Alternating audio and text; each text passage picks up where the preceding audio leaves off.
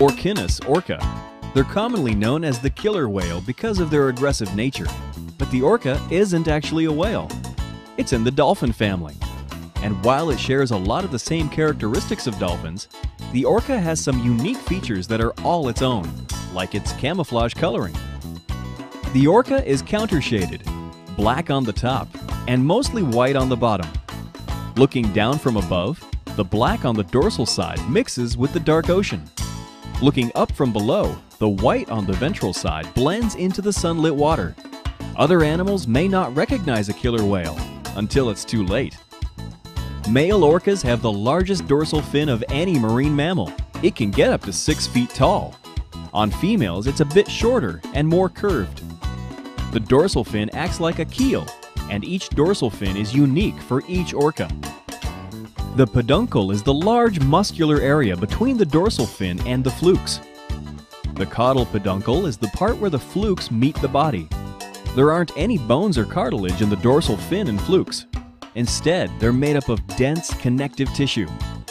Longitudinal muscles in the back and caudal peduncle move the flukes up and down. The orca's pectoral fins are paddle-shaped. They're used for steering and work in conjunction with the fluke for stopping.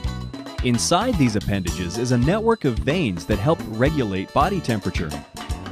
In between the dorsal fin and the peduncle is a gray swoosh known as the saddle patch.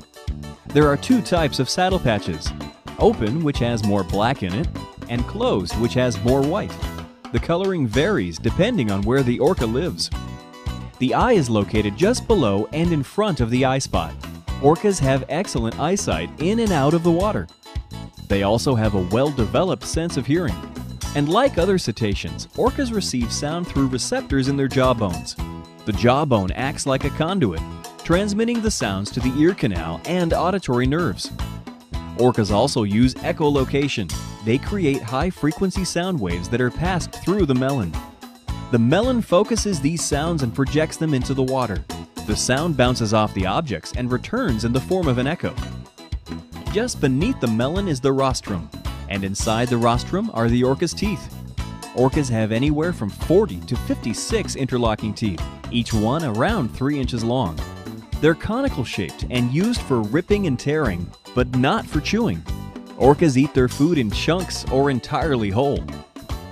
Cetaceans are conscious breathers. They have to remember to take a breath every time they need air. Orcas breathe by opening the muscular flap of the blowhole. When closed, the blowhole is completely airtight. All of these parts working together make the orca one ominous, awesome marine mammal.